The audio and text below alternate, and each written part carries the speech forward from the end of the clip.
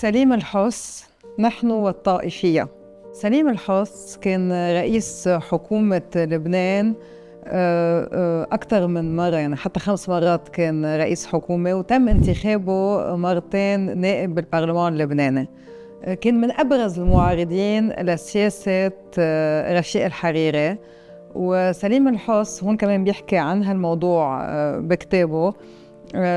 كان كان في هيك مثل قصة للتاريخ مهمة. هي الحكومة الانتقالية بعهد أمين جميل آه، اللي كان بده أمين جميل اللي عملها وصار في حكومتين لأنه بقي سليم الحس رئيس حكومة. رح أحكي أكثر عن هالموضوع بس خليني بلش من البداية.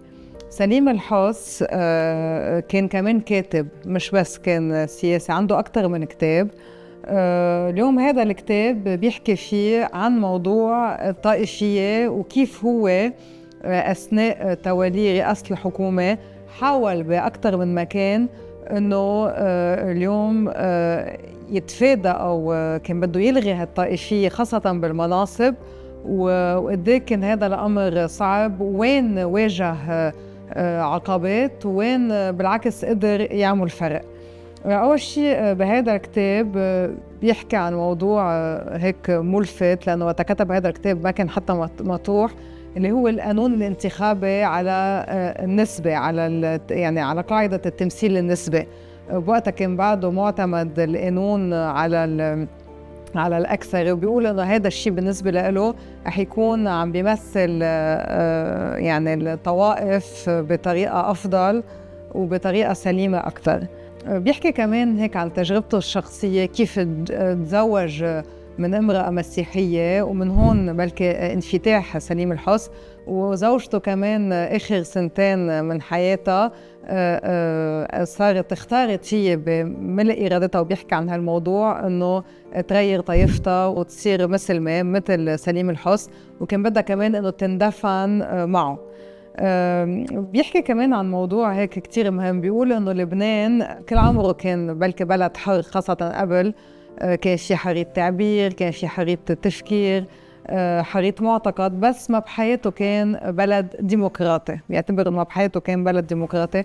وهون بيشرح الفرق بين الحرية والديمقراطية وبيقول ليه لبنان آه، كان في كان عنده حرية بفترة معينة بس ليه ما بحياته كان ديمقراطي. بيحكي عن حادثة كمان مهمة كتير صارت سنة ال 76 هو وقتها كان هو رئيس حكومة وحط بالبيان الوزاري آه، إلغاء الطائفية بالإدارة والقضاء والجيش. وبيقول بوقتها إنه يعني ما مر هذا الموضوع بمجلس وزراء إنه وقتها بيجي الرجل رجل القانون فؤاد بطرس اللي كان وقتها وزير بحكومة سليم الحس بيقول له إنه أنا اليوم عم بعطيكم نصيحة إنه لازم كل شغلة نحن نكون عندنا مسؤولية.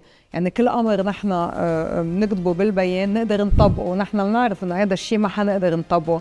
فأنا ضد يكون في وعود كاذبة. آه، وبيقول له أنا مع إنه نطبق هذا المبدأ بس بلا ما نكتبه بالبيان الوزاري قد ما فينا تما نكون مش صادقين. ساعتها بنكون عملنا إنجاز إنه نطبق مش نكون بس عم نكتب حبر على ورق.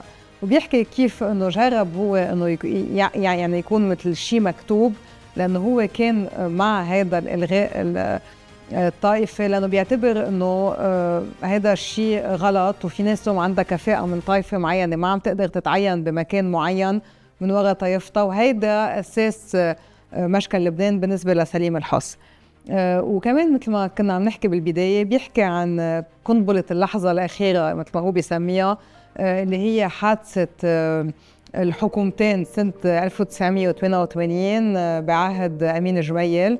وقتها بيتصل فيه داني شمعون آه، لسليم الحص وبيطلب منه أول شيء إنه يألف حكومة.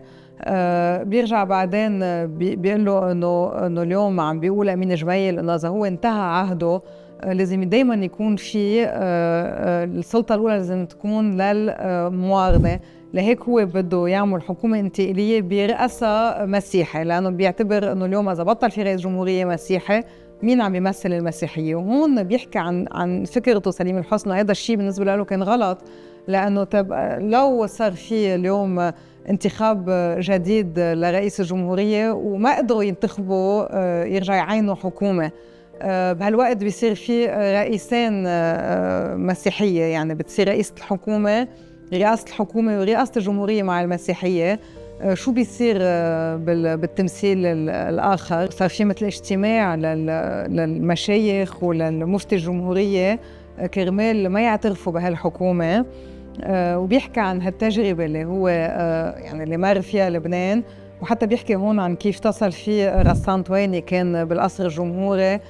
تيجرب يعمل مثل وسيط تيحلوا المشكل يعني بس ما انحل المشكل ووقتها صار في حكومتين وبيعطي وبيجرب هو يشرح بهذا الكتاب وجهة نظره إنه ليه وقتها هو ما قبل وليه بيعتبر إنه هذا الشيء منه موجود لا بالدستور ولا بالميثاق ولا في حتى سابقة من هذا النوع.